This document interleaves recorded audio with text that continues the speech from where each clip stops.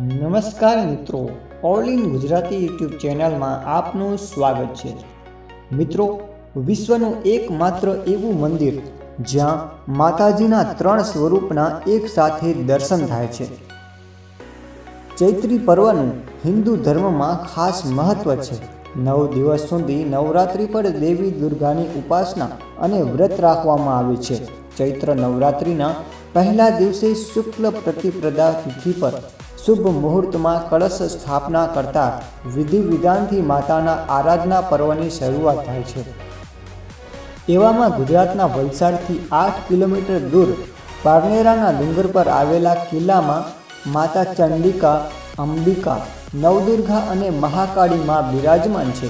કહેવામાં આવે છે કે આ પેશવા સમયનો કિલ્લો છે, જ્યાં માતાજી ચામુંડાની વિશ્વની એકમાત્ર ત્રિમુખી પ્રતિમા છે. માતાજીના ડુંગર પર જવા માટે છે એક હજાર પગથિયા. માતા ચામુંડા ઊંચા ડુંગર પર બિરાજમાન છે અને ભક્તો પર પોતાનો આશીર્વાદ વરસાવે છે. માતાજીના ડુંગર પર જવા માટે ભક્તોએ મોટો ડુંગર ચડવો પડે છે, જ્યાં એક હજાર જેટલા પગથિયા છે. આ ડુંગર પર ચડવા માટે ટ્રસ્ટ દ્વારા સુવિધાઓ પણ ઊભી કરવામાં આવી છે. ડુંગર પર જતા વચ્ચે કિલ્લાની દક્ષિણમાં ગુફામાં મહાકાળી માતાનું સ્થાનક છે. બંને મંદિરો વચ્ચે વાવ પણ છે.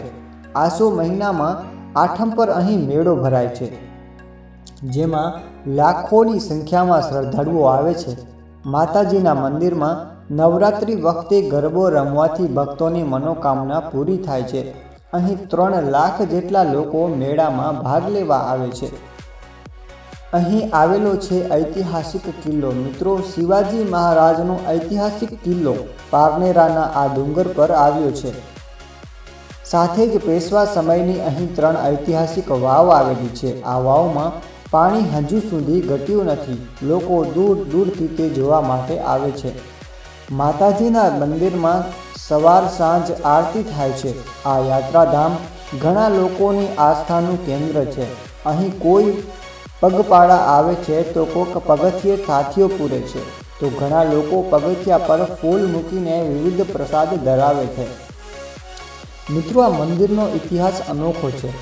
શિવાજી જ્યારે સુરતમાં લૂંટ કરી મહારાષ્ટ્ર તરફ જતા હતા, ત્યારે તેમને પારનેરા ડુંગર પર રોકાયા હતા અને માતાજીની ભક્તિમાં લીન થઈ ગયા હતા. તે સમયે શિવાજી પર હુમલાનો પ્રયાસ થયો હતો. ત્યારે ચામુંડા માતાએ શિવાજીને એક ઘોડો અને તલવાર આપી, જે તેમણે કિલ્લા પરથી કુદાવી દીધો હતો અને નદીના બીજા કાંઠે પહોંચ્યા હતા. તેમાં શિવાજીનો જીવ બચ્યો હતો. તો મિત્રો, આજની વિડીયોમાં બસ આટલું જ. ફરી મળીશું નવી વિડીયોમાં. ત્યાં સુધી માહિતી ગમી હોય તો વિડીયોને લાઇક કરીને મિત્રો સાથે શેર કરજો અને ચેનલને સબસ્ક્રાઈબ કરીને ઓલ નોટિફિકેશન ઓન કરો જેથી આવનારી નવી વિડીયોની અપડેટ તમને મળતી રહે. ધન્યવાદ મિત્રો.